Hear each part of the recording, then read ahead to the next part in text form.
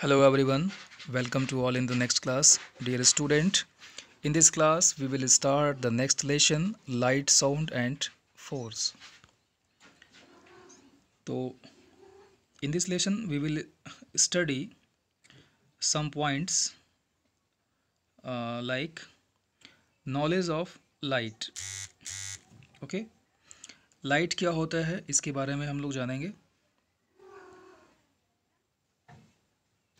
the next point knowledge of sound and the next point knowledge of force means in this chapter we will study about light sound and force okay so let's start पहला question ये है we see the things around us with the help of light हम अपने आसपास जो भी चीज़ें देखते हैं, वो किसकी हेल्प से देखते हैं? लाइट की हेल्प से। यानी कि अगर हमें लाइट ना मिले तो हम किसी भी चीज़ को देख नहीं पाएँगे, ना हम आपको देख पाएँगे, ना आप हमें देख पाएँगे। यानी कि ये जो चीज़ों को देखने वाला जो चीज़ें, जो क्रिया है, जो एक्टिविटी है, ये एक्टिविटी अगर पॉसिबल है तो सिर्फ़ लाइट की वजह से है। ठीक है? तो पहला क्वेश्चन ये बनता है कि क्या बिना लाइट के आप किसी चीज़ को देख सकते हैं? तो आंसर होगा, जी, बिल्कुल नहीं। बिना लाइट के हम किसी भी चीज़ को नहीं देख सकते okay? We hear different kinds of sounds with the help of our ears साथ ही साथ, देखने के साथ ही साथ, हम एक काम और करते हैं। वो काम ये है कि हम सुनते हैं। वी हीयर हीयर मीन सुनना different kinds of sounds with the help of our ears अपने ईयर्स की थ्रू ईयर्स की हेल्प से हम जो है डिफरेंट डिफरेंट साउंड्स को सुन पाते हैं। ठीक है? We move many things by pushing और पुलिंग देम और देखने और सुनने के साथ ही साथ हम एक काम और करते हैं, वो क्या है?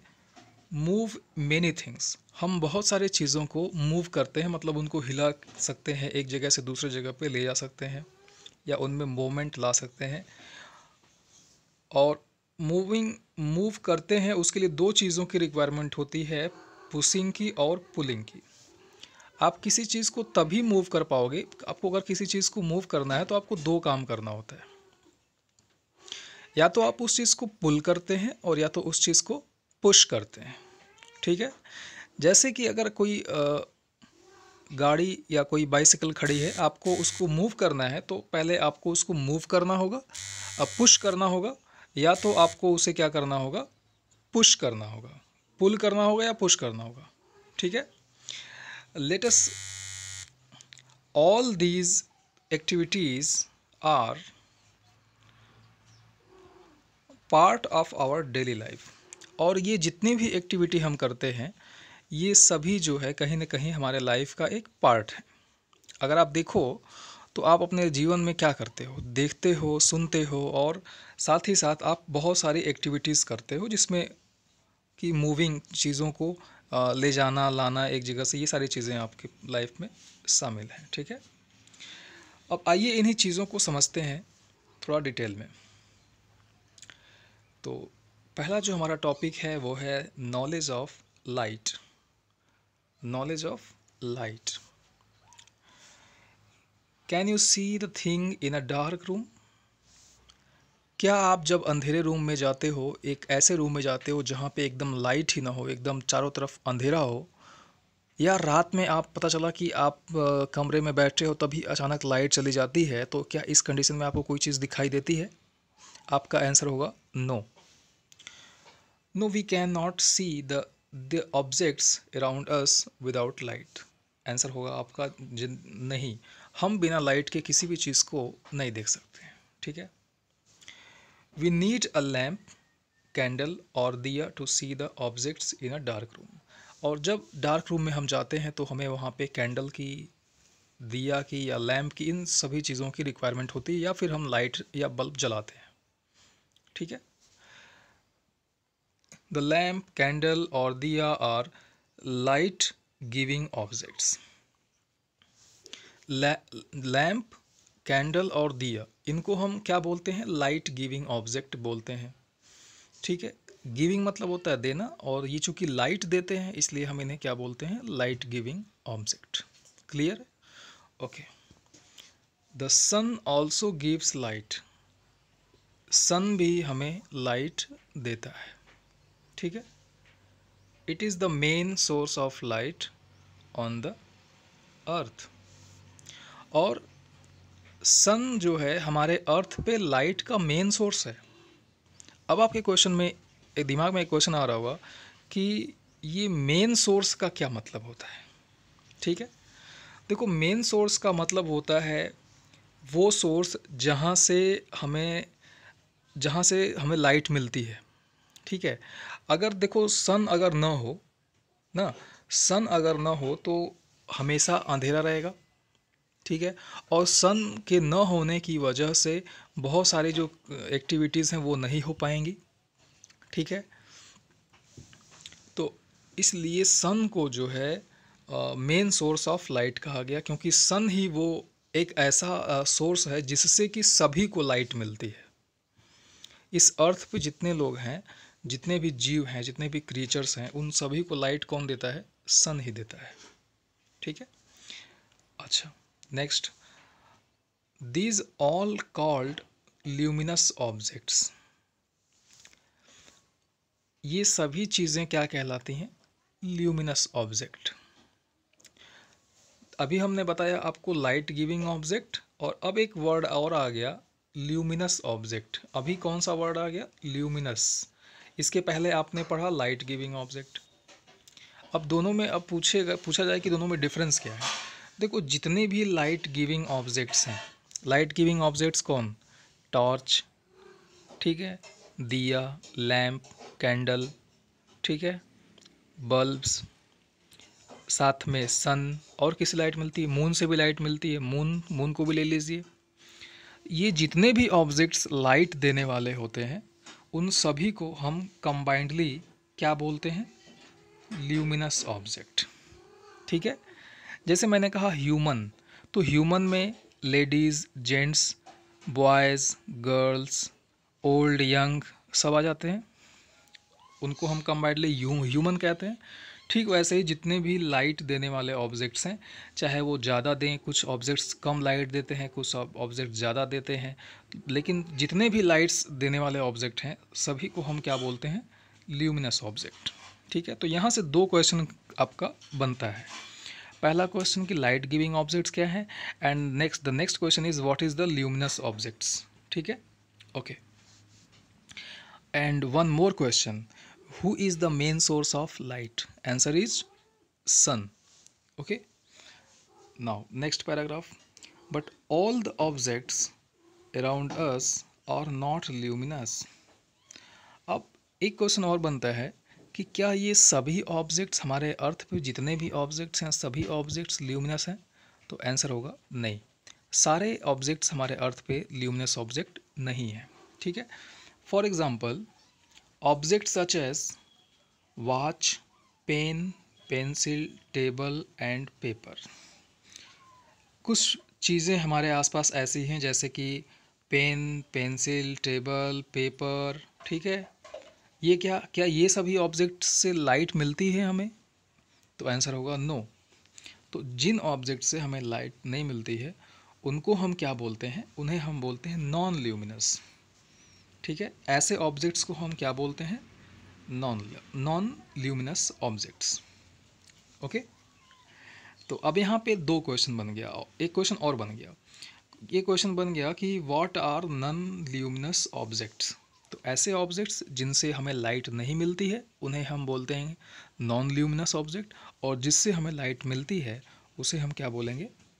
Luminous object that is clear okay अब यहाँ पे कुछ फिगर दिए हुए हैं।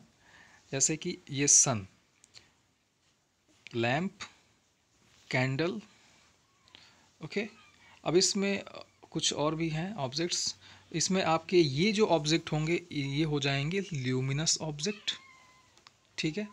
क्यों? क्योंकि ये लाइट देते हैं। ये हो जाएँगे नॉन ल्यूमिनस ऑब्जेक्ट क्योंकि ये लाइट नहीं देते हैं। क्लियर है? ओके अब नेक्स्ट जो हमारा टॉपिक है, वो है शेडो ये शेडो क्या चीज़ है? आइए इसको भी देख लेते हैं. We know that light travels in straight line जैसा कि हम जानते हैं, जो लाइट होती है, वो कैसे ट्रेवल करती है? स्ट्रेट लाइन ट्रेवल करती है. स्ट्रेट लाइन का मतलब क्या होता है? सीधा. स्ट्रेट लाइन का क्या मतलब होता है? सीधा. जो लाइट होती है ना वहाँ, वो हमेशा जो है स्ट्रेट ट्रैवल करती है। स्ट्रेट का मतलब सीधा, ऐसे ट्रैवल करेगी। ऐसे। लाइट कभी ऐसे ट्रैवल नहीं करती है। ठीक है? लाइट हमेशा स्ट्रेट ट्रैवल करती है, इस तरह से। When the path of the light is blocked जब ये, मान लो ये यहाँ पे सन है, यहाँ से लाइट ऐसे निकल रही है सीधा। अगर इसके बीच में कोई एक ऑब्जेक्ट आ जाएगा तो क्या होगा? The light is blocked shadow और फॉर्म्ड तो अगर ये यहाँ से लाइट निकली, यहाँ पे कोई बीच में ऑब्जेक्ट आया तो लाइट को इस इस ऑब्जेक्ट ने रोक रोक लिया तो इस ऑब्जेक्ट का जो है सैडो यहाँ पे बन जाता है। इस ऑब्जेक्ट का यहाँ पे एक सैडो बन जाता है। इसी को बोलते हैं सैडो ठीक है? तो shadow is formed on the opposite side of the source ठीक है? अब एक चीज़ यहाँ ध्यान देना है कि अगर यहाँ से लाइट आ रही है, ये कोई ऑब्जेक्ट है तो इसका सैडो यहाँ बनेगा। ठीक है? अब यहाँ पे ये ध्यान देना है कि जो सैडो बनता है, वो हमेशा लाइट के अपोजिट बनेगा। लाइट इधर से आ रही है तो सैडो किधर बनेगा? इधर बनेगा कि इधर बनेगा? इधर बनेगा, इधर नहीं बनेगा। ठीक है? तो हमेशा अपोजिट बनता है। लाइट इधर आएगी तो सैडो किधर बनेगा? इधर बनेगा। ठीक है? ये ध्यान देना है कि जो सैडो होगा, वो हमेशा लाइट के अपोजिट डायरेक्शन में ही बनेगा। ठीक है? You might have observe your shadow on the ground when stand outside in sun अब आप अक्सर अपनी शेडो को देखते होगे जब आप ग्राउंड में या कहीं बाहर खेल रहे होते हैं, ठीक है? जैसे देखे ये एक यहाँ व्यक्ति खड़े हैं, ये मैन यहाँ पे खड़ा है, या एक मैन यहाँ पे खड़े हैं खड़े हैं। इनकी सैडो ठीक यहाँ नीचे बन रही है और इनकी सैडो यहाँ पे देखिए बन रही है। क्यों ऐसा हो रहा है? क्योंकि ये सन ठीक ऊपर है तो सैडो कहाँ बनेगी? इसके अपोजिट इसका अपोजिट कहाँ होगा? नीचे और इस समय देखिए सन यहाँ पे है तो इसका अपोजिट होगा यहाँ पे तो सैडो इनकी यहाँ बन रही है, ठीक है?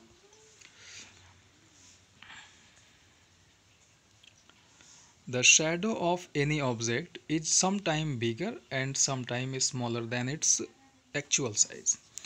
अब शैडो की एक और क्वालिटी होती है। पहला तो हमने जाना कि ये अपोजिट साइड में बनता है। दूसरा क्वालिटी ये है कि जो शेडो होगा कभी कभी स्मॉल भी बनेगा और कभी कभी बिगर कभी कभी छोटा बनेगा और कभी कभी बड़ा बनेगा। In the picture given below different shadows are shown at different time of the day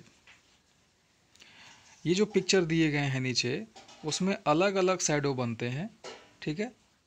और shown at different time of the day. मतलब दिन के अलग अलग समय पे देखो आप तो अलग अलग शैडो बना। जैसे ये सन जो है इस समय ठीक ऊपर है। ये कब होता है? नून टाइम में। फिर उसके बाद आफ्टरनून आता है। आफ्टरनून के बाद जो है, जो सन होता है, वो थोड़ा सा ऊपर नहीं होता है थोड़ा सा खिसकता है और हमारी सैडो थोड़ी सी लॉन्ग होती है। लेकिन जब इवनिंग टाइम टाइम आता है, शाम का समय होता है तो सन जो है हमारा यहाँ पे हो जाता है। तो हमारी सैडो कहाँ बनती है? एकदम लंबी बनती है। या फिर जैसे ये कैंडल देख लो, ठीक है? कैंडल के अपोजिट ये बच्ची यहाँ पे खड़ी हुई है तो इसका देखो सैडो इस ऑब्जेक्ट से बड़ा बना है, ठीक है? ओके तो आई होप ये टॉपिक आपको समझ में आ गया होगा। नेक्स्ट टॉपिक को हम स्टार्ट करेंगे अपने नेक्स्ट वीडियो में okay thank you for watching